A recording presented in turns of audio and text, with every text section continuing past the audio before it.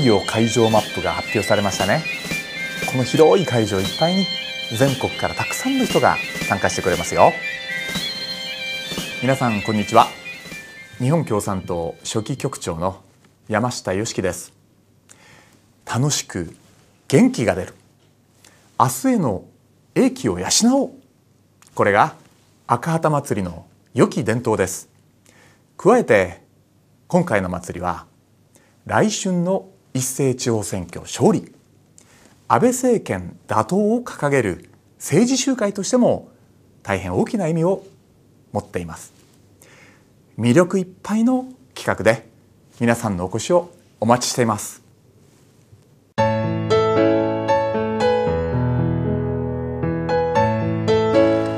私たちは赤旗祭りの記念演説でその時々の日本や世界の動きとの関わりで日本共産党の役割についてお話しすることを恒例としてきました。2日午後は野外ステージで C 和夫委員長の記念演説です。安倍政権の亡国政治と対決し国民との共同を広げ国政の転換を目指す党の立場を太く押し出すものになるでしょう。野外ステージ1日午後は私山下良樹とドイツ文学翻訳家の池田佳代子さんとの対談企画です。戦争によって子どもたちの命が奪われることを何よりも許せないとまあいろんな市民運動と交流されているのが池田さんです。どんな対談になるか今から楽しみです。野外ステージ2日午前の対談もお見逃しなく。小池晃副委員長とエコノミストの森永卓郎さんが暮らし経済をテーマに縦横に語り合います。アベノミクスこれでいいのか？経済と財政を立て直し希望ある社会にしていく方向と展望が語り合われる。対談になることは間違いなしですよ。会場のここにあります文部東京スポーツ文化館のメインアリーナでは3日午前不破鉄道社会科学研究所所長による科学の目講座日本の戦争を考えるが行われます。なぜ侵略戦争というのか？政治のどんな仕組みが戦争を起こしたのか？そしてこの戦争を今の安倍政権はどう見ているのか？来年の戦後70年を前にしたタイムリーな企画に大きな期待が高まっています。野外ステージとメインアリーナでは他にもこんな企画を準備中です。1日午前野外ステージ。米軍新基地の沖縄知事選勝利へ。赤嶺政権衆院議員と田村智子参院議員が出演。全国注目の知事選挙が戦われている沖縄からのパネリストも登場します。2日午前メインアリーナ。ストップブラック企業ブラックバイト。安倍政権の雇用大破壊。吉良よし子辰巳幸太郎参院議員のトーク集会。全国各地で勇気を持って戦いに立ち上がった人たちが祭り会場に駆けつけます。2日昼メインアリーナ東日本大震災。被災地の今真の復興を目指して。高橋千鶴子衆院議員と岩手宮城福島の皆さんが語り合います。3日午前野外ステージ徹底討論再稼働ストップ原発ゼロの実現を求めて笠井明衆院議員の司会で福島県や仙台原発のある鹿児島県官邸前の行動に取り組む方たちを迎えてのトークプログラムです。3日午後は憲法集団的自衛権でパネル討論野外ステージ。戦争する国にさせないために二比総平参院議員が出演します。安倍政権と国民との攻防が極めて激しくなる時期。憲法沖縄消費税原発。一点共闘の広がりが盛り込まれた。今回の赤田祭りはいつにも増して参加して勇気と明日への展望が湧いてくる。見どころ聞きどころ楽しみどころいっぱいの催しです。どのテーマもしっかり準備して本番に臨みたいと一度張り切っています。ぜひ赤旗祭りにお越しください。大いに語り合い交流しようではありませんか。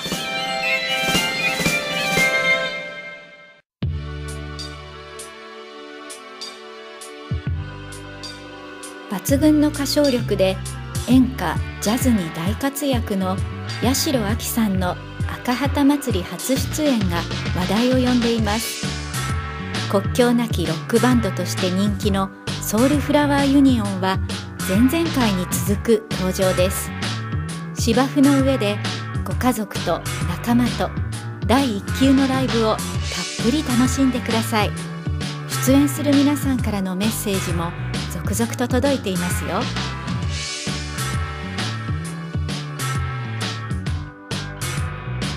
うちなからチャービタンこちゃみさこんにちイルムンやいびんみーしっちょうて歌びみしえびり。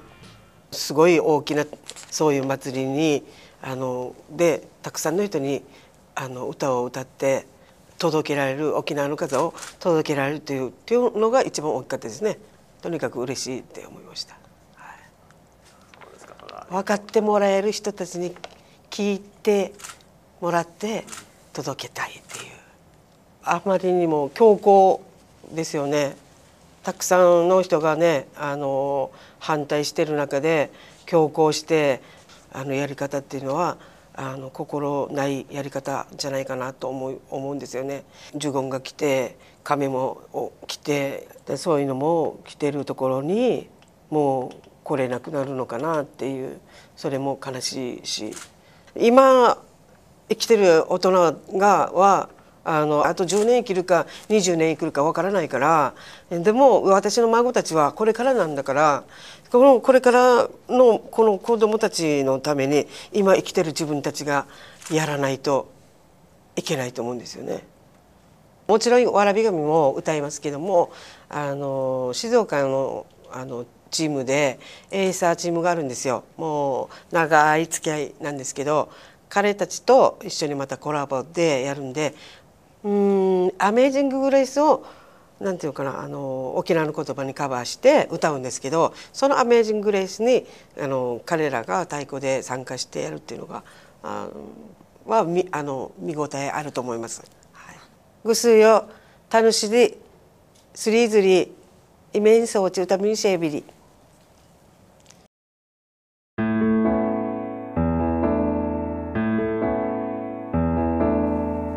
皆様こんにちは。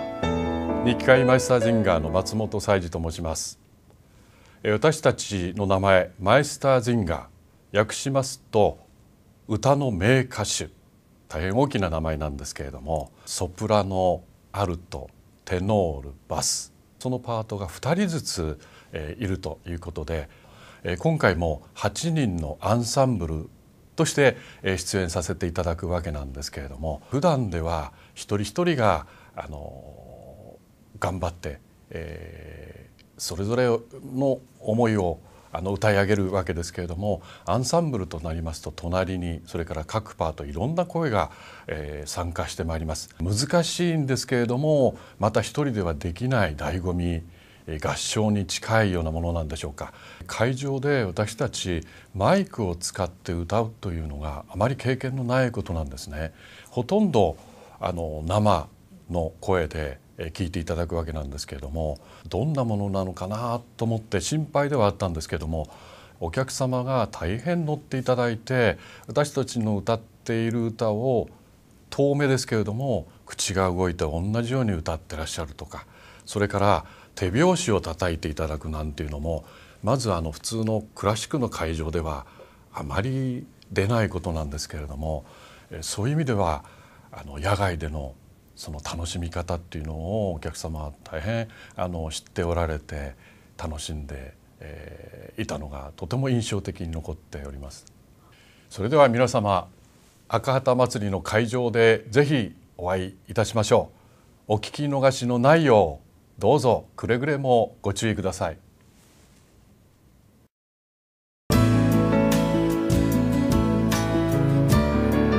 こんにちは北川哲です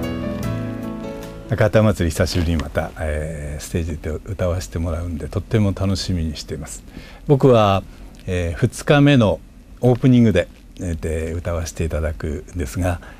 多分憲法全部あのロックので、えー、何回も聴いてる人いると思うんです。今度はピアノ一本のバージョンで、えー、生でピアノでね聴、えー、いていただけたりするんでちょっとそれも楽しみにしてもらうと嬉しいんですが、えー、他にもあの、えー、福島の飯舘の酪農家の長谷川健一さんをモデルにして作ったね「ほえろ獅子」というちょっとね、あの今までと違うパターンの歌とか、えー、または「アイスクリームは食べないというちょっと、えー、秘密法を皮肉った歌なんかもね歌いながら「えー、祭り」という歌でわっと盛り上がって楽しく、えー、皆さんと交流していければなと思っています。それと、えー、ステージが終わってからあちこちこう会場内を駆け回っていろんなところで路上で歌いながら、えー、交流もしていきたいなと。お会いしたら声かけてもらいたいしまた一緒に歌ってもらいたいのでぜひ会場にお出かけいただければ嬉しいなと思います。待ってます。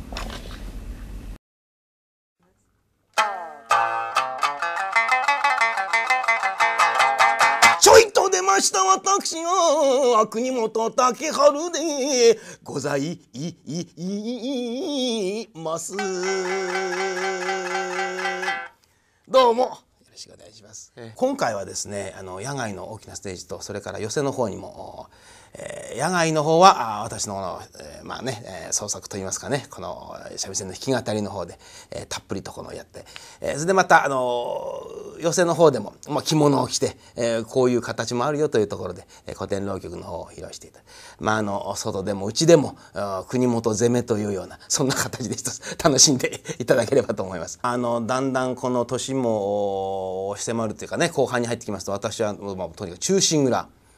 これがやはり私あの得意にしておりますんでそれをですねこの投資でやってみようというそういう企画もちょっと考えておりますんで。えお投資といっても頭とお尻ですけどね、えー、まあ、そこが肝心ですから、えー、そこパーッと聞いていただこうというそういう、まあ、予定をしておりますが、はい、どうなりここと来てのお楽しみでございます。それではじゃ最後に締めではいはい。皆様方お越しを。お待ちしております。お誘い合わせでぜひどうぞ。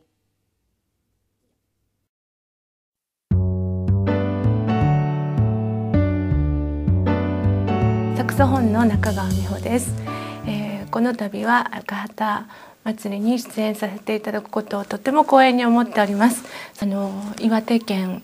宮城県福島県の民謡で構成された「道の苦笑系」というあの作品をあの私のオリジナルで作ったんですね。道の苦笑系という東日本大震災の支援ということも大きな柱としてあのプログラムを組んでいるんですけれども私のコンサートでは「愛と平和」というのがテーマですので日本の、えー、昭和時代の名曲の中から「と、港が見える丘」と「長崎の鐘」を平和の思いをあの込めて演奏することとそれともう一つですね辺野古へもあの行ったんですけれどもそこで、まあ、あの17年間一本も悔いを打たせていないというお話を昨年伺ったばっかりなのにこの急展開がものすごくもうあのなんて乱暴なんだろうという本当に思い怒り憤りでいっぱいなんですけれどもあのその中で沖縄のあの民謡とかわらべ歌をあのサックスフォンで演奏するということをあの CD に収めましたのでその中からも「あのティンサグヌ花」ですとかもお送りできればと思っています。えー、11月2日、えー、一人でも多くの皆さんとお会いできることを楽しみにしております。精一杯演奏いたしますのでどうぞ皆さんよろしくお運びください。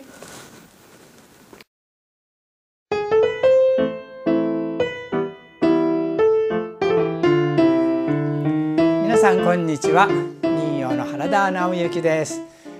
久しぶりに赤旗祭りに、え、出演させていただきますもうすごく楽しみにしておりますえ、以前もそうですけれども会場にね全国からお客さんが来ておりますのでまさに民謡はふるさとの心ですのでその全国の皆さんにそのふるさとの心を伝えるようにですねいっぱい歌ってまいりたいと思います。私は福島県の浪江町という出身ですけれども今回の大震災でね大変な皆さん苦労されています。こんな時こそ民謡でね皆さんにこう少しでも元気がね出ればと思いまして一生懸命歌っておりますけれども会場には全国からね、えお客さん来ておりますので何かリクエストあったら本当はね一曲皆さんの好きな民謡でね歌いたいんですけれどもでも皆さんのねよくあの聴いてる民謡を今回は用意しました。時間があったらリクエストなどもねいただきたいんですけれどもさあどうでしょう？皆さん知ってる歌があったら一緒に手拍子、そして歌って踊ってくださっても結構ですのでねどうぞ会場の方に、えおいでいただきたいと思います。またあの私の楽しみはですね当日あの全国から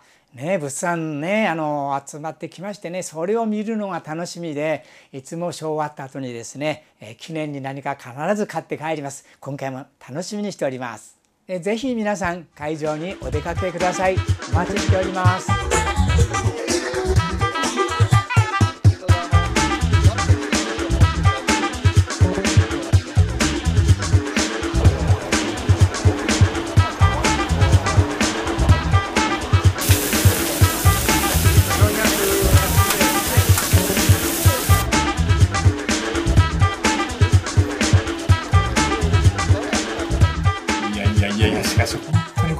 盛りだくさんやね、